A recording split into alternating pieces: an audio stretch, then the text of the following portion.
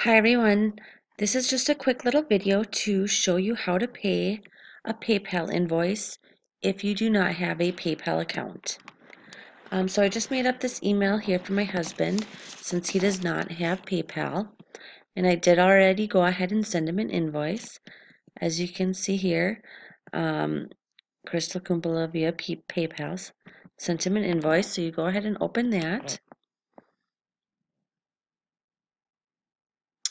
Here's the invoice I sent him for $21.38.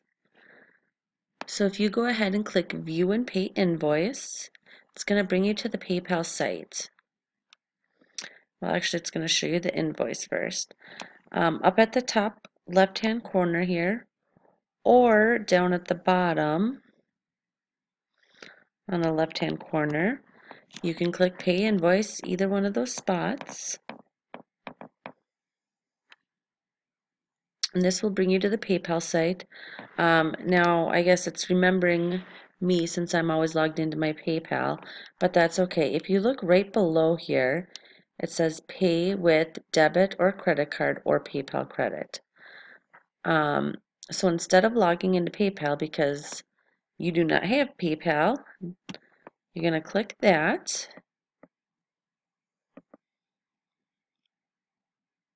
And then you can enter Here's credit cards. You can enter all your credit card in. PayPal is all secure, so you don't have to worry about anything like that. Um, it's well known for that. And then review and continue, and that will pay your invoice.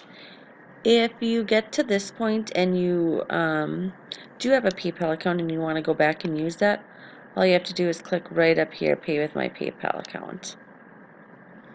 So either way, that should get your invoice taken care of.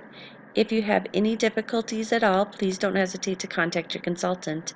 Have a great night.